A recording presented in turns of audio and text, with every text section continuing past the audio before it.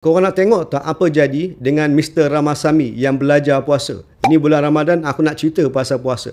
Mamat ni nama dia Mr. Ramasami, bukan orang Islam. Tetapi badan dia gemuk, memang ada borderline kencing manis. Serum triglyceride dia memang tinggi, lemak di dalam darah tinggi.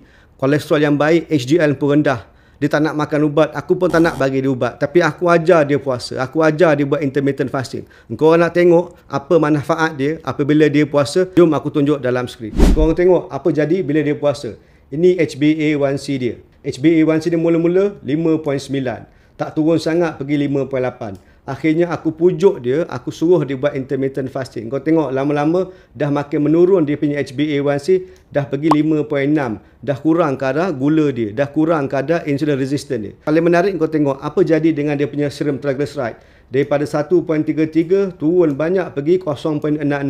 Manfaat yang ketiga aku nak tunjuk engkau hari ini, engkau tengok dia punya HDL, kolesterol yang baik, kolesterol yang akan pelihara jantung kita, kolesterol yang akan pelihara saluran darah kita. Naik daripada 1.37 kau tengok naik pergi 1.51. Ini manfaat puasa. Jadi aku nak bagi itu orang, bukan sekadar orang Islam boleh dapat manfaat daripada puasa. Orang yang bukan Islam, yang tak sihat, yang nak kuruskan badan, nak kurangkan gula dan kencing manis, boleh buat intermittent fasting. Sure okay.